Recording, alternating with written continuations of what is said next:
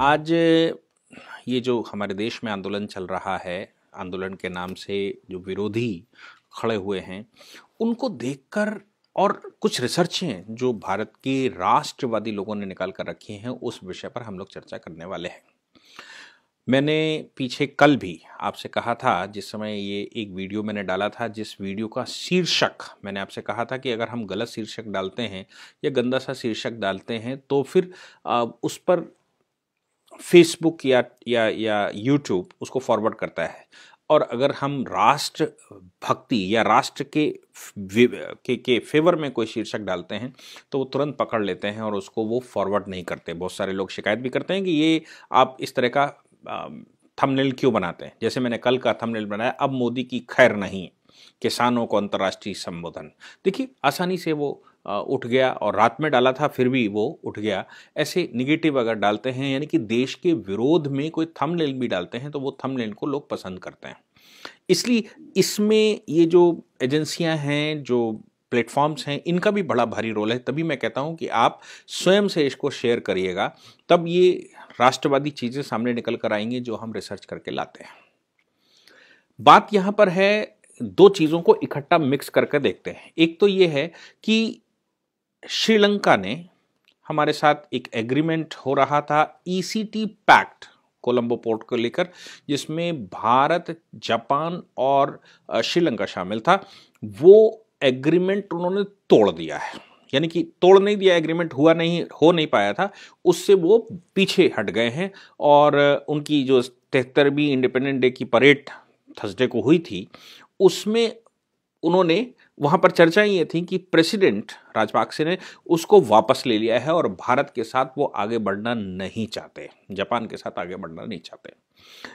इसका कारण वहाँ पर बहुत सारे प्रोटेस्ट हुए, वहाँ के लोकल लोगों ने बहुत सारे प्रोटेस्ट किए और वो लोग भारत के विरुद्ध वहाँ पर खड़े हो गए थे।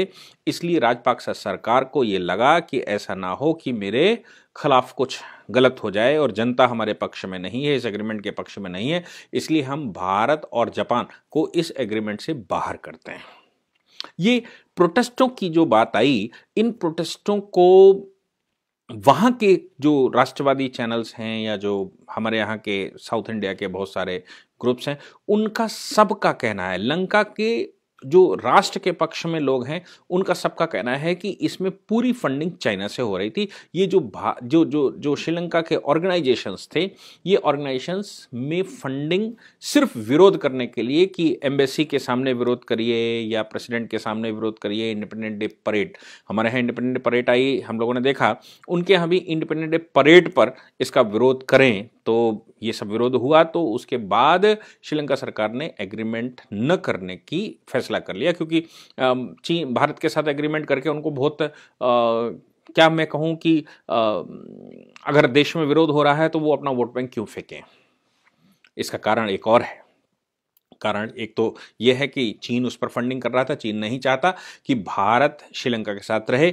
और उससे पहले भी आपने देखा होगा कि बेंगलुरु में कुछ कंपनियों के ऊपर हमले हुए थे। उस हमले में भी चीन की फंडिंग का बात आई थी और चीन के ग्लोबल टाइम्स ने लिख कर रखा था कि आप भारत में इन्वेस्टमेंट करने जा रहे हैं, संसार की कोई कंपनी भारत में इन्वेस्टमेंट करने जा रही, भारत की दशा तो देखिए, भारत में कितने बुरे सिचुएशन चल रही है और भारत में लोग सुरक्षित नहीं है, कोई कंपनी सुरक्षित नहीं है इन्वेस्टमेंट सुरक्षित नहीं है और बाद में पता लगा कि उसकी फंडिंग भी सीधा चीन से हो रही थी। हालाँकि उस पर बेंगलुरु पुलिस ने मुकदमा बनाया, बहुत सारे केसेस फ़ाइल किए, जो लोग फंडिंग कर रहे थे, उनके ऊपर केसेस फ़ाइल किए और ब्ला बहुत कुछ चल रहा था। अब इस बात को भारत में आज के किसान आंदोलन को जोड़कर देखते हैं। हम सब जानते हैं कि आपको याद होगा जाट मूवमेंट।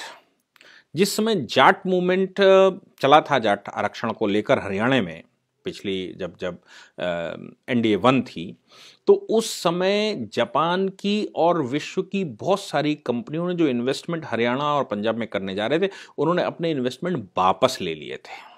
ये वापस ले लिए एग्रीमेंट्स में, या उन्होंने जो इन्वेस्टमेंट किया था, वो इन्वेस्टमेंट से पीछे हट गए थे। और इस बात पर भी उस समय कहा गया था कि ये सारा का सारा फंडिंग कहीं और से हो रहा था। मैं इस बात को नहीं कह रहा हूँ कि वाकई में फंडिंग हो रहा था।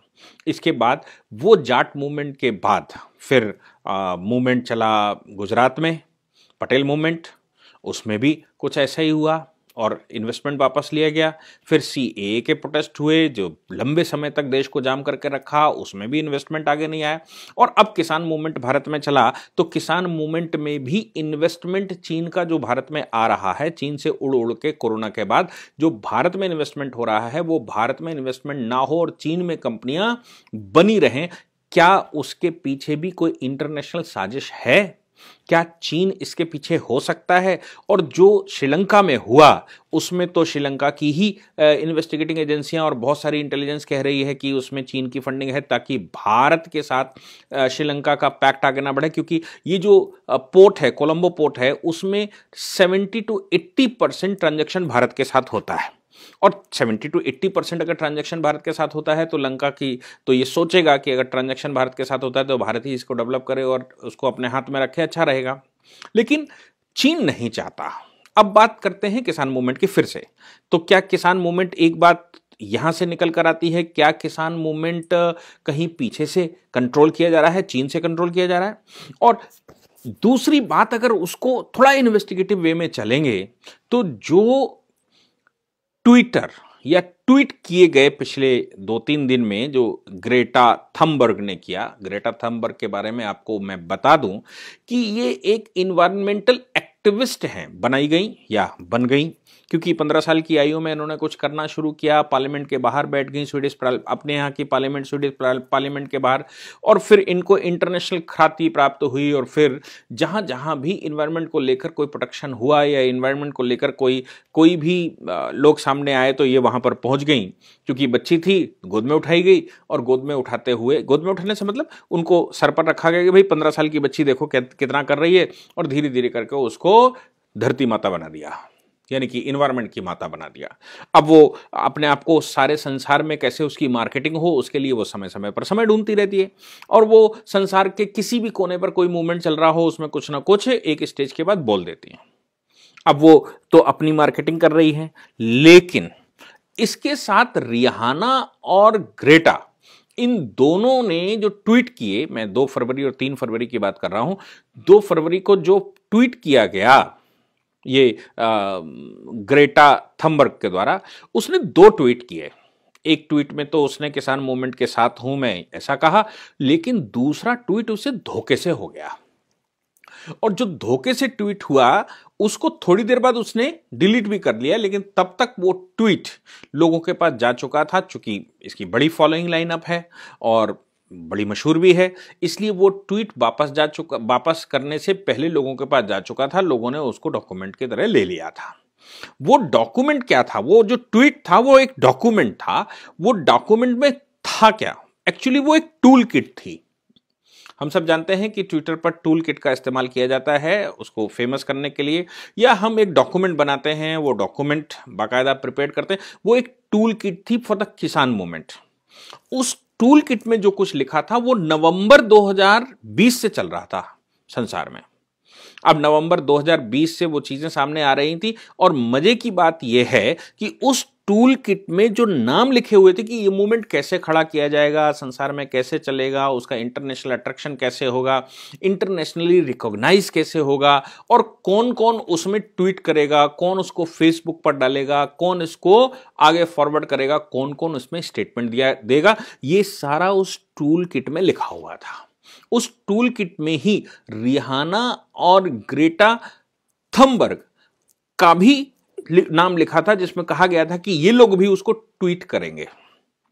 अब ये लोग भी इसको ट्वीट करेंगे तो मज़े की बात यह है कि जो हैशटैग बनाए गए थे, वो हैशटैग जो आज चल रहे हैं ट्विटर पर, वो हैशटैग भी इस टूल किट में लिखे हुए थे, जो धोखे से ग्रेटा थमबर्ग उसको ट्वीट कर चुकी थी। जैसे solidarity with Indian farmers Twitter storm इसको हिंदी में अगर हम कहें, भारतीय किसानों के साथ एकजुटता ट्विटर पर तूफ़ान।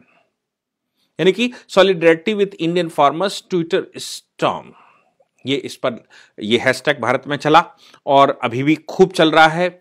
इनमें इसी इस, मैंने जैसे कहा टूल किट में उनके नाम लिखे हुए थे और जिस प्रकार टूल किट में जिस जिस तरह से मूवमेंट लिखा हुआ था, वैसा ही मूवमेंट चला। अब आप सोचिए, नवंबर में इस तरह के ट्वीट होने शुरू हुए थे और अभी फरवरी चल रहा है। नवंबर में किसान मूवमेंट शुरू नहीं हो पाया था, लेकिन हमारे यहाँ वो पूरे संसार में उसकी प्रिपरेशन कर ली गई थी। इंटरनेशनली एक साजिश रच ली गई थी। उस साजिश के तहत उसको प्रिपरेशन कर ली गई थी और वो चलाया जा रहा था। हालाँकि, मैं ग्रेटा थम्बर की बात करूँ तो वो कनाडा के एक एमपी जो कि सरदार जी हैं, उनके साथ उनके अच्छे संबंध है वो वो सरदार जी खालिस्तानी मूवमेंट में मनमीत सिंह, मनप्रीत सिंह या मनमीत सिंह कुछ उनका नाम है उनके साथ उनके संबंध हैं उनके आपस में ट्वीट ट्रांजैक्शन होते हैं और उनकी आपस में बात भी होती है। तो ये जो ग्रेटर थम्बन है या रिहाना की ट्वीट है रिहाना को तो मैं ऐसे कह सकता हूँ कि वो आ, तो उनका पीआर पैसे जहाँ मिलेंगे वहाँ काम करेगा क्योंकि ये तो एक्टर एक्ट्रेस हैं ये परफॉर्मेंस देने वाले लोग हैं इन्होंने परफॉर्मेंस दे दी कुछ उनको पैसा मिला होगा उन्होंने परफॉर्मेंस दे दी। ये सब कुछ हमारे यहाँ भारत में चल रहा है। अब कोई कहे कि इसका किसान मूवमेंट से क्या लेना देना? मैं मान सकता हूँ, इसका किसान मूवमेंट से लेना देना नहीं क्योंकि ग्रेटा थम्बर्ग ये इन्वायरमेंटलिस्ट हैं इन्वायरमेंट पर प्रोटेक्शन के लिए काम करते हैं, लेकिन आज वो किसान बन चुकी हैं। रेहाना, जो कि एक गायक है, गायिका है, वो भी किसानों से उसका लेना देना है। मियाँ खलीफा, जो एक पोन एक्ट्रेस है, उसका भी किसानों से बहुत कुछ लेना देना है।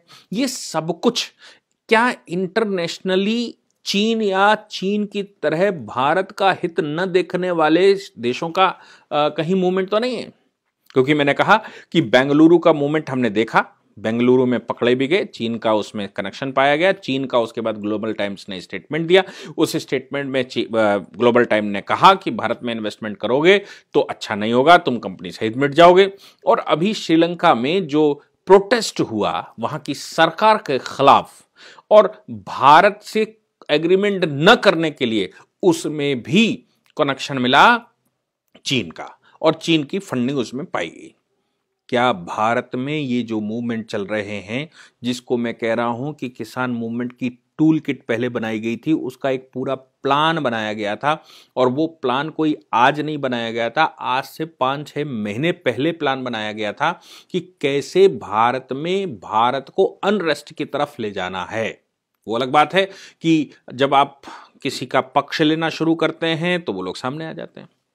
ये चीज़ अब हम सबको, सभी भारतीयों को, चाहे वो जाने अनजाने में इस मूवमेंट में शामिल हुए हों, या फिर वो जानबूझकर शामिल हुए हों, उनको कोई बात पता हो या ना पता हो, पता करने की कोशिश की हो ना की, ये बहुत सारी चीज़ें हैं कि वो क्या सोचते हैं। लेकिन इन ट्वीट्स को ध्यान देना पड़ेगा सबको कि कहीं हम, भारत के लोग जो भारत में निवास कर रहे हैं, वो भारत का नुकसान करने के लिए तो नहीं कर रहे कहीं। वो कहीं ऐसा तो नहीं है इंटरनेशनल साजिश कॉन्स्परेसी कहीं और रची गई हो, और हम उसमें प्लेयर्स हों, हम उनके ही मैदान पर खेल रहे हों या खेल रहे हों। और हमको लगता है सब हमारे कंधे पर चल रहा है, जबकि हकीकत ये हो कि ग्राउंड किसी और का है मैच किसी और ने तय किया है पिच किसी और की है, और बैलिंग बैटिंग और बॉलिंग हम कर रहे हैं।